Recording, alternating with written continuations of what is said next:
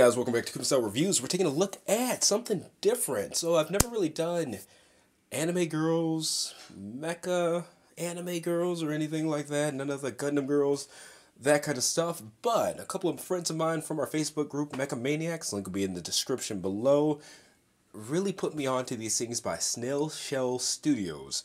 They are the GN Project GN001 Wolf Armor. So both of these are called the exact same thing, GN001 Wolf Armor. However, this is the regular retail release on the right, and on the left is the Wonderfest 2021 exclusive variant. So this was sold for international customers exclusively at AmiAmi.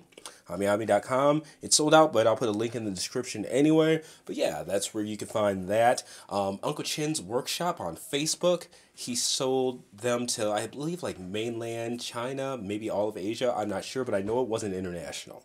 But yeah, so for this review, they are the same figure. This one comes with an additional sword. But we're going to do a lot of the heavy lifting with the regular retail release, meaning this is one we'll use for showing off all of the accessories, how everything goes together and whatnot. And then at the end, we'll kind of pop in this one as new challenger. We're also going to do the uh, cloak. This is a separate purchase, so also by Snail Shell, so Snail Shell Studio specifically for this figure. Really cool stuff there. Uh, it comes in that packaging, just a single leaflet but yeah, we're going to take a look at all of it. Now, just to go ahead, because I know you guys are probably going to look this up, Google it, whatever, there are multiple versions of this. So, this particular character is the GN001 Wolf Armor. So there are these versions, like the regular retail release, as well as the Wonderfest exclusive 2021 version, but there are two more that actually look differently from this. So there's another armored version, like because she's a cyborg type character. That one has shorter hair, a different kind of cape. It's like blue that gradients to black, different weapons. It's pretty noticeable. It was the very first release from this company, from what I've been told, and it was very, very, very limited. I've taken a look for it. I can't even find listings for the thing anywhere. So if you guys have one and don't want it yourself, please send me an email info at kumastyledesigns.com. Let me know because I'd love to snag it up. And there's another one, it's the bikini version, which is as described. It's coming out in March, but it doesn't have any of the mechanical pieces on it and things like that, almost like a pre-cyborg version. Um, and it's bikini clad, different accessories, comes with like an umbrella and stuff, different kinds of weapons and things like that. But yeah, it's blatantly different, but they're all called GN001 Wolf Armor. So, you know, just keep an eye out for the variants it's blatant when you look at the pictures of them and things like that. And hell, if you see the original release that has the blue cape and stuff like that, buy that one instead if you don't see it for an astronomical price because hell even if you resell it i'm sure you'll make buku buck from it from somebody like me. But anyway let's go ahead and get this review started. Looking forward to it and looking forward to you guys thoughts as well. All right so jumping right in. She measures two and i'm gonna go to the tip of the ears here, for me about seven and a quarter inches tall from what I'm seeing right here. Okay, we'll give you guys a roundabout in a second, but taking the camera off of the stand here, taking a look at the accessories. So you got her two claws right here, which are really cool, her rifle. She has two sets of additional eyes, one's looking left, one's looking right, and that's a cool option to have rather than faces that, you know, have to look either left or right and things like that. I don't personally like that stuff, so for somebody like me, it's great to have the option of not using them. Variety of hands here. These are two tails that actually connect to this piece here, like her waist piece there. Um, you saw in the beginning of the review, review, she was wearing that. And these are her two guns and holsters on the side. Pistols, I should say, versus a rifle. But yeah really good accessory layout too, and just a really great looking figure in general. So what we'll do, we'll have, we'll go over the articulation in her most bare form because there will be nothing in the way or anything like that. Go ahead and get her dialed up, do some poses, and then move on to the black version. Okay, let's go ahead and give you guys a roundabout here. Again, seven and a quarter inches tall to the top of the ears.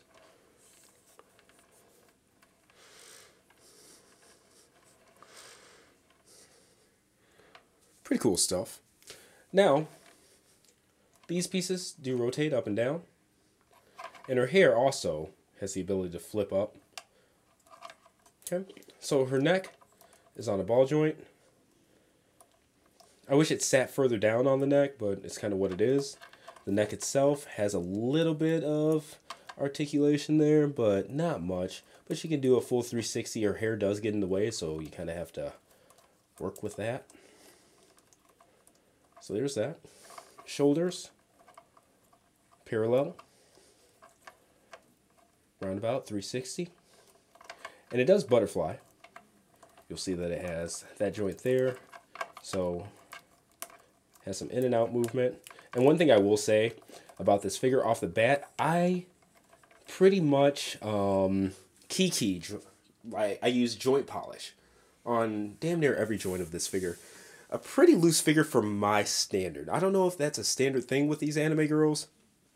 These are the first I've really collected and looked into, but if that's the case, I, I think that's kind of substandard, not gonna lie. But it did work really well, thankfully. These arm pieces here, they themselves can rotate around on their own.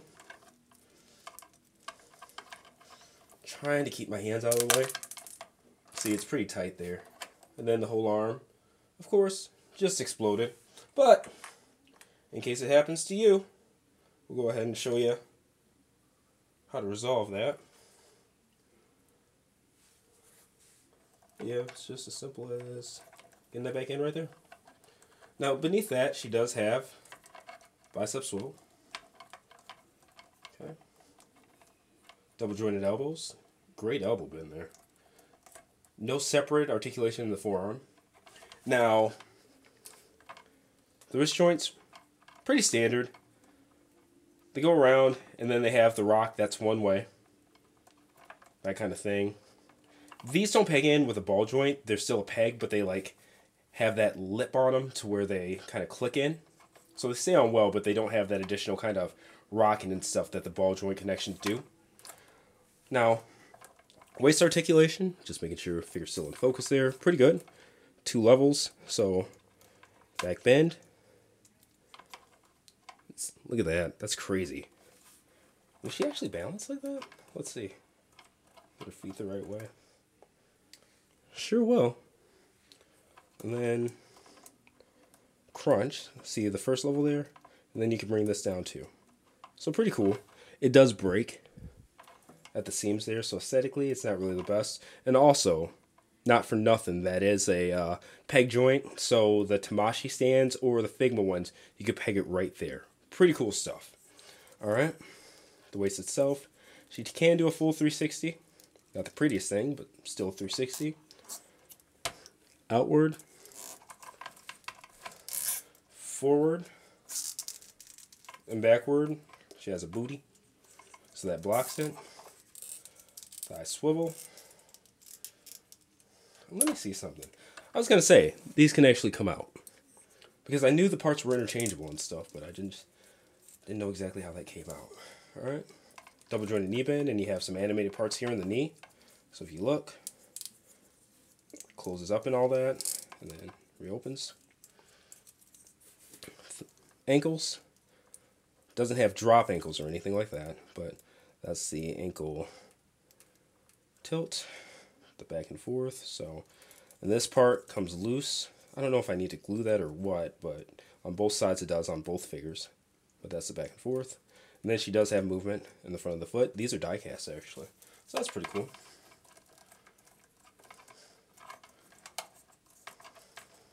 but that's the articulation. I think we're going to go ahead and look at the different faces and the eyes first, and we'll get her all dressed up.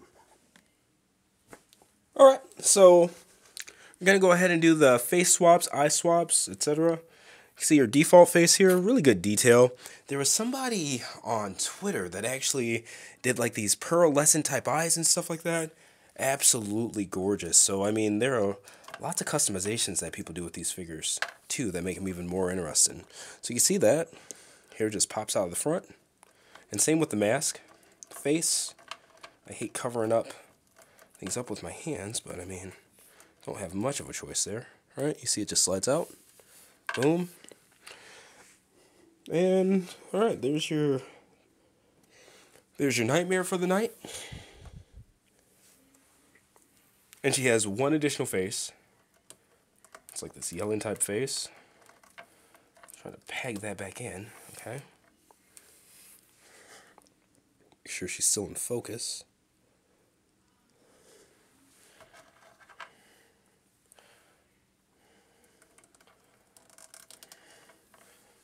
And make sure with this hair in particular, you're pressing on both sides, or else there's a pretty noticeable gap that you could see uh, where the head kind of meets the hair. Um, it doesn't go over as much as it should. Like it's not there now, but if you have this spaced in the slightest, the hair piece, it's pretty prevalent. So just fair warning. But there's that. And to give you an example of how the side eyes look, that off. Hmm, rotate those around. Face off. Jeez. Fits in tight, which isn't a bad thing, but damn. Okay. Alright. Take these out. They just slide right out. Then I don't exactly know if these eyes are Looks like they're going to be looking to the left. There's that. We'll get the default face on. Oh. For diecast feet, man, she likes to start to slip easily.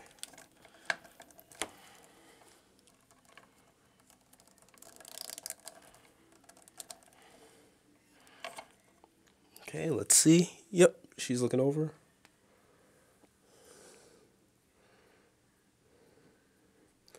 And yeah, again, not the biggest fan of the side eye look, but some people like it, and I understand a lot of artwork captures that as well.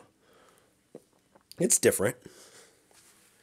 Now let's go ahead and do it with the uh, yelling face.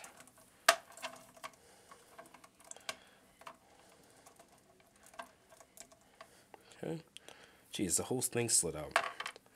Faces are tight. These eyes. Slide in really easily though. Boom. I guess I'd rather have tight than loose, so.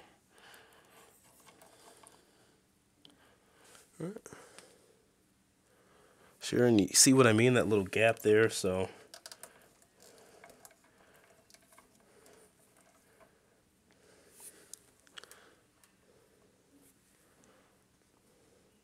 There you go. And I'm not going to do the left eye look because it's this, but the opposite. Okay, let's go ahead and get her dressed up. Okay, and I already got a head start on this by having the front hairpiece off. And I'm going to replace it with this guy here. Alright, and make sure it's pegged in just the same. It's her mask, visor, whatever you want to call it. Okay. And from there, you have your skirt piece. And this has like thrusters on the back. The whole thing can kind of rotate in and out. And then from this view, they can go up and down, okay? And then these pieces here, these pieces that go around her waist, ball joint right there, okay, making sure you guys can see that. And then this hinge piece right here goes up and down. Now, just fair warning, these pieces pop off really easily. They peg into place. The peg should have been longer, but it's made for the exact length that it's supposed to be afterwards or whatever. I don't know why that is, but it's kind of goofy in my opinion. But yeah, I wish there was some kind of stopper there to keep it from falling off so easily. But with that, you could choose one of two tails to have on, so they just peg into the bottom. A curly tail and a straight tail. All right, so there's not a lot of movement really in the ball joint. You see when you start to move it back, it pops off pretty quick.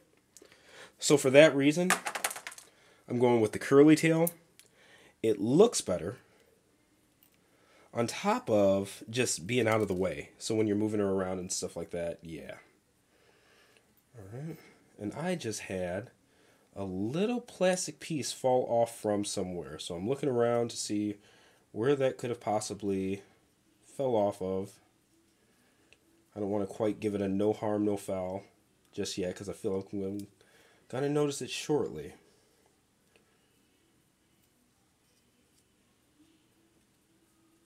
Oh, okay. So that's kind of hard to access, but it's actually inside of here. Get that fixed up. But it's right here. And I'm not trying to make this review any longer than it has to be, but in case you guys run into any issues, it's nice to have a resource.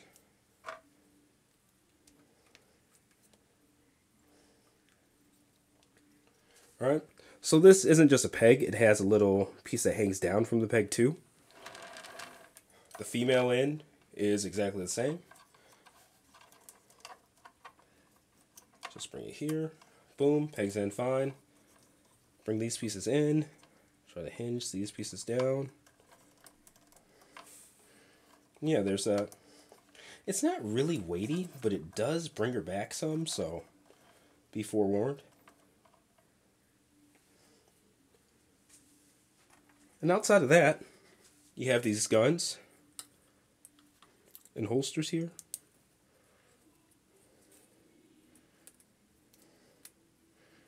Okay. It's one side. And they just peg into her calves. Straightforward stuff.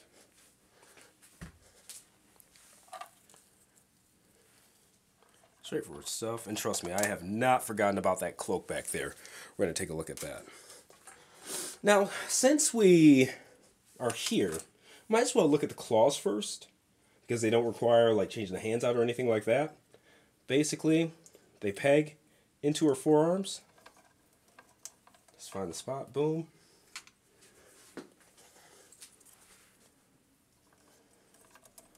Find the spot. Boom. And okay. Now with the claws, the individual fingers go up and down. Really cool stuff. And you can bring the whole thing down a little bit, not a lot, but yeah.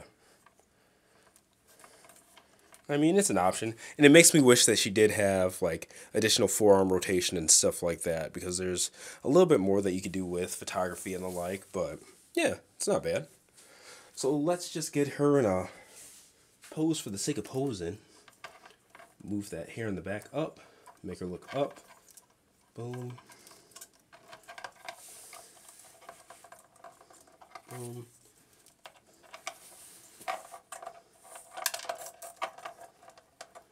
And a little hand fell out, but I'm not going to worry about that because the hand doesn't even show. So I'm going to cheat. Make sure she's looking upwards. Should I have her on one knee? Legs are kind of long, but you could do that. With that piece up.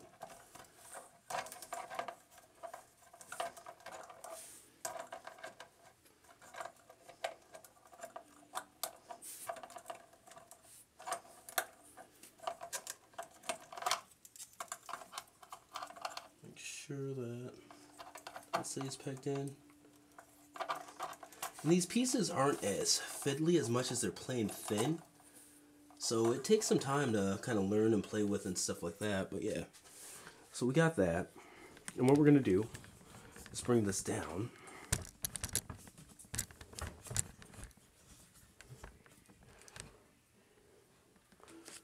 Yeah, I don't like that.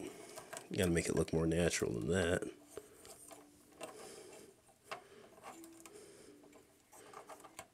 Bring that down. Make sure.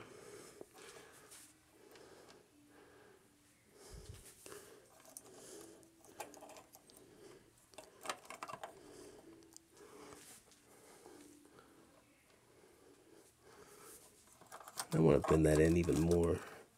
Yeah. There we go. All right. Okay, and here's another pretty straightforward pose. All right, kneeling prone. See what I mean? That tail just works so much better. And it looks great too. And this is one pose I really like from every angle. Not gonna lie.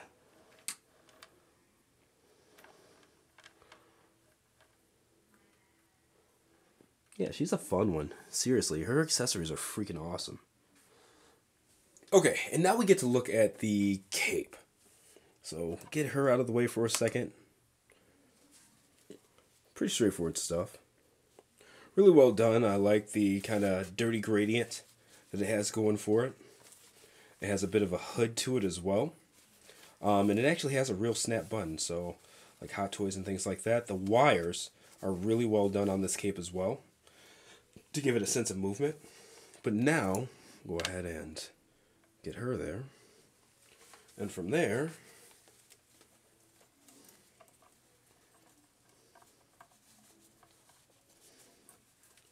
we shall, we shall go ahead and button this guy up. And I do have to cover the camera with my hands, so I apologize, but I mean,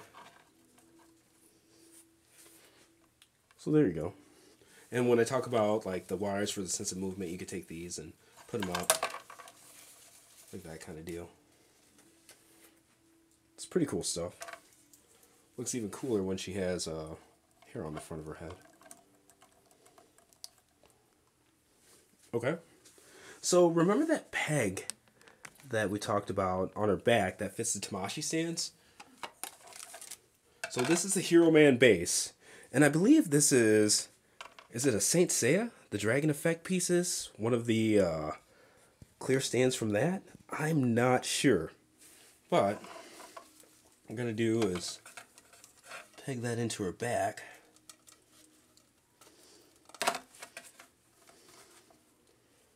Pretty honest stuff.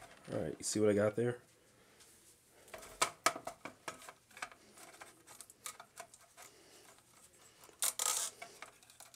Bring this leg forward because we're going to have her turned that way.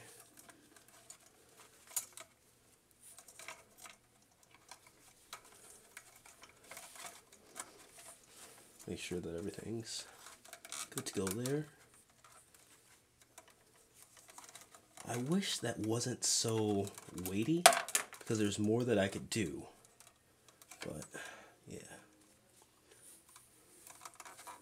actually turn her a bit, see if we can't do that.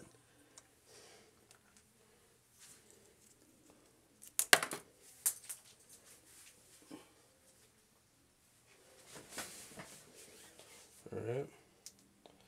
So the visor piece actually fell, but we're putting it back.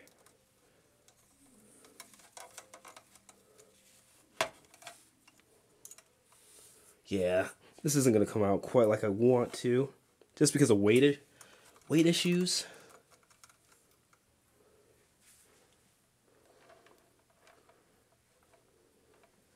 Because I'd like to be able to have her kind of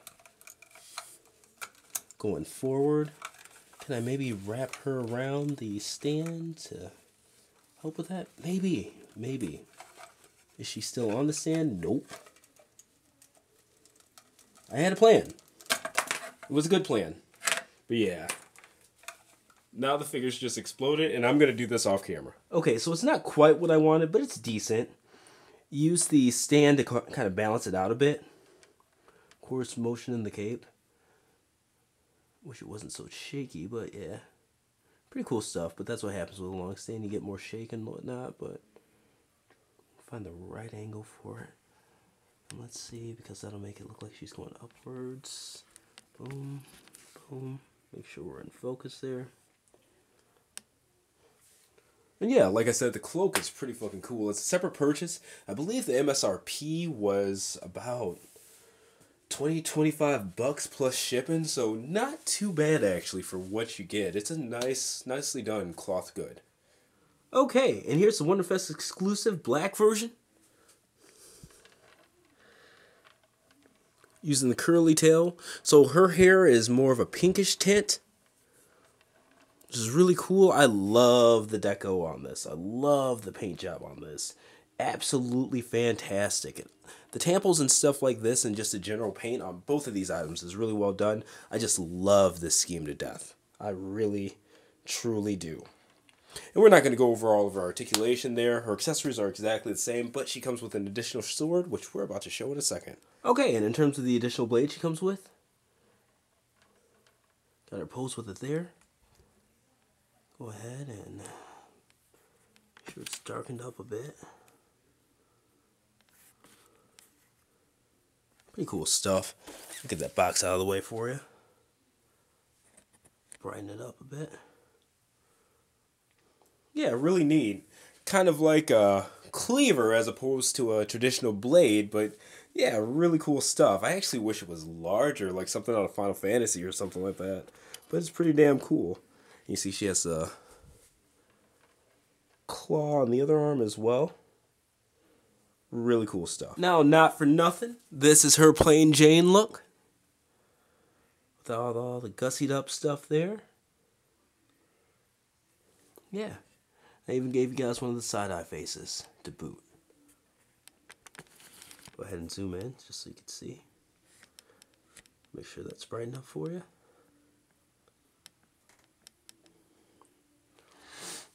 Just really nice stuff and a really, really cool offset as opposed to the first one.